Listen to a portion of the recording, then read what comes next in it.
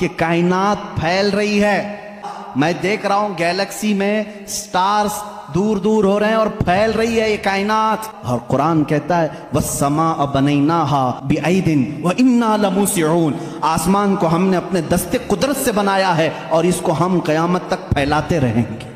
चौदह सदी पहले ही ये तहकीक अल्लाह के कलाम में आ चुकी। पहले साइंसदान ने कहा कि पहले ये ज़मीन, आसमान सब चीज़ें एक ही थी, एक बड़ा धमाका हुआ, उससे पूरी कायनात फैली। सूरज अलग हुआ, ज़मीन अलग, आसमान अलग। इस थ्योरी को कुरान ने खुद बयान किया है। अवलम यरल्लदीन कफरू, अन्न समावाति वल अर्द कानता रतखन फफतकनाहुमा। अल्लाह फरमाता है, ए महबूब, क्या नहीं देखते वो काफिर? काफिर अब भी इनकार कर रहे हैं। ज़मीन और आसमान मिले हुए थे, हमने उनको फाड़ करके अलग किया। फतक ना होमा फतक कहते हैं, ऐसा ज़ोर का धमाका होना और झटका देना जिससे सारी चीज़ें बिखर जाएँ।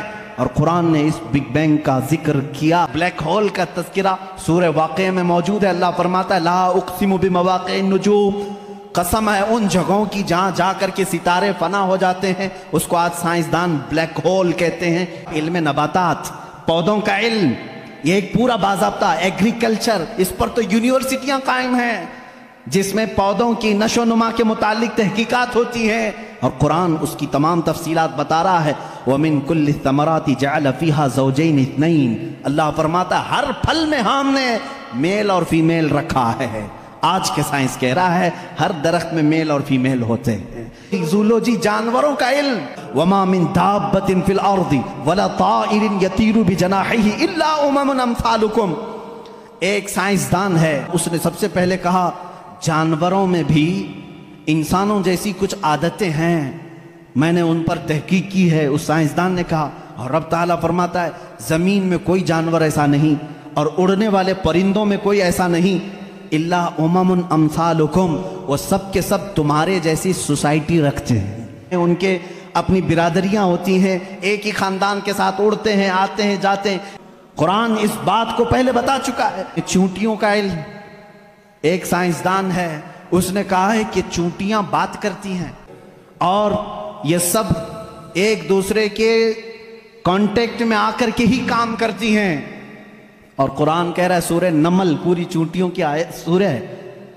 अल्लाह ताला फरमाता आता इदा अतो अला वादिन नमली, कालत नमलतुन या अय्युहन नमल दुखुलू मसाकिनकुम। जब सुलेमान सलाम अपने लश्कर के साथ से गुजर रहे थे तो एक चूंटियों की वादी के पास आप आए तो अल्लाह फरमाता है, चूंटियों की जो बड़ी सरदार थी, उसने सारी चूंटियों से कहा, या अयुहन्नमलुदखलू मसाकिनकुम ए चूंटियों, जल्दी जल्दी अंदर दाखिल हो जाओ। कहीं सुलेमान सलाम का लश्कर तुम्हें बेखबरी में रौंद ना जाए।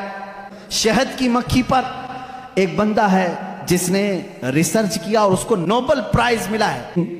ये 1975 में 1975 में एक साइंसदान ने तहकीक करके बताया, शहद की मक्खियाँ कम्युनिकेशन करती हैं, एक दूसरे से रबता करती हैं, और इनको एक मलिका होती है और वो ऑर्डर देती है और उसके ऑर्डर के अतबार से सब जाती हैं। और कुरान में देखो, रब ताला फरमाता है वहा रब नहली अनी तखिद मिनल जिबाली ओमिन शजरी बुयूतन।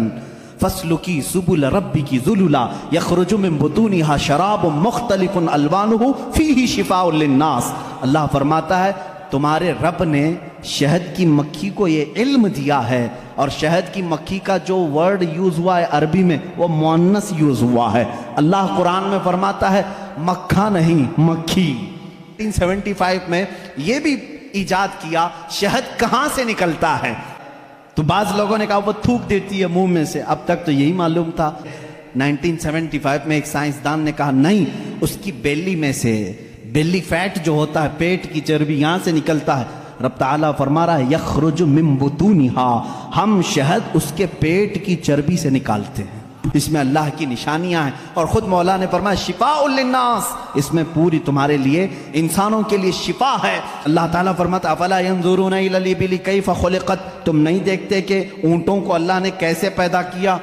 ये कॉलेजों में पढ़ाया गया है जूलॉजी के स्टूडेंट्स को कि तमाम मखलूक में ऊँट की तख्लीक एक सबसे अलग है। इसलिए कि इसके अंदर ऐसा मादा है, एक महीने तक बगैर खाए पिए ज़िंदा रहता है। पानी जमा कर लेता है। तकरीबन 1950 या 60 के बीच में एक साइंसदान ने कहा कि मकड़ी जानवरों में सबसे कमज़ोर दिल वाली होती है और कुरान कह रहा है बुयूती। बल्कि अल्लाह फरमा रहा है, सबसे कमज़ोर घर मकड़ी का होता है और सबसे कम